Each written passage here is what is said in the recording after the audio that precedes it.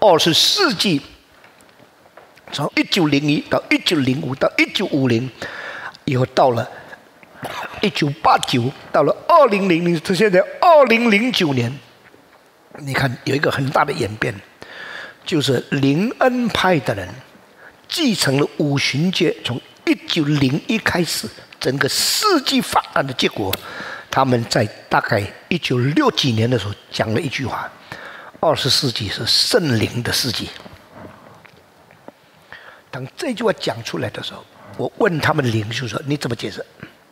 他说：“正如我们现在看十六世纪是改教世纪，那么我们应当说二十世纪是圣灵的世纪。”我对他说：“你不要太早讲这句话，因为呢。”今天我们看十六世纪的时候，我们给了个名称：十六世纪的改教运动，把整个基督教改头换面，成为一个真正的忠于圣经、回到纯正信仰的这个路线，实在是改教运动。啊，这个名称是以后看回历史的时候给他讲的，给他称呼的名称。好不好？二世纪是不是圣灵的世纪？让以后的人跟我们评论。我们现在不要讲。他们的回答是：只有二十世纪教会才重新得回应当尊重圣灵地位的这种看法。而二十世纪圣灵的工作这么清楚，而二十世纪凡是讲圣灵和接受圣灵工作的教会的大大发展。所以，二十世纪就是圣灵的世纪。啊，这个事情我现在不辩论的。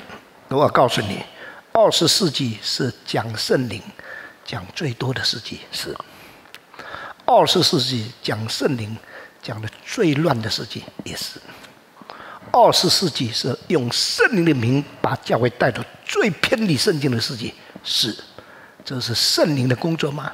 我告诉你，不是。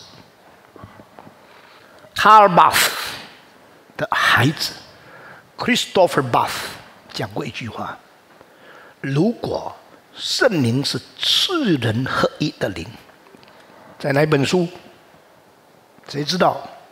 你们的保守圣灵所赐合而为一的心，有没有这一节圣经？在哪本书？以弗所书。他问一个问题，非常使人惊叹的。”如果圣灵是四人合一的灵，为什么灵恩教会是最多分裂的教会？从一九零一开始，五旬节运动一直下来，灵恩运动里面的派系越分越多，越分越多，他们很难合一的，他们最爱讲合一。你们记得前任的《基督教论坛报》曾经在一篇的文章里面大写唐崇荣反对合一，我已经赦免他了。如果你们所讲的合一就是大家热热闹闹来开一个大会特会，这个叫做合一的话，那我问你，你们有没有跟天主教在一起啊？你们有没有放弃你们的宗派？放弃你们的招牌，全部改成天主教。如果你们没有回到天主教，那么你们认为你们是有合一的吗，那你告诉我你是怎样叫做合一？我不好意思告诉你下面几句话。Rick Warren 也提到合一，华利克他说合一是很要紧的，所以为了合一的重要性。我们就不要那些制造混乱、制造困难的那些异议分子。这个事情演变下去，就变成什么合一，或者变成分裂。你听懂吗？合一是要很要紧的。你反对合一，我们就把你开除掉。这个是合一吗？所以呢，California 有一个教会。有一百六十多个看出他的毛病的人，就开始批评那些教会里面有三百六十个一天到晚读他的书的人，一直尊重他。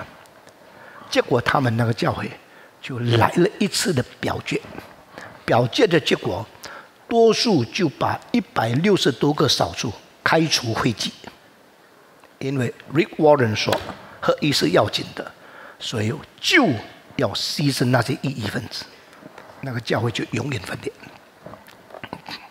合一是口号吗？合一是什么吗？唐崇荣反对合一吗？合一是不是我们来唱合一的诗歌？所有跟我走的就叫合一，反不跟我走的就不是合一。所以我们在主力都是弟兄。这首诗歌为什么不在天主教唱？为什么不在信友堂唱？只在灵恩派唱？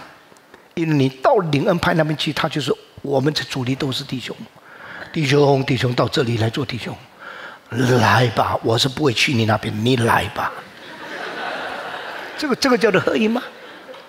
所以我要你们眼睛清楚一点，思想镇定一点，看这个事情。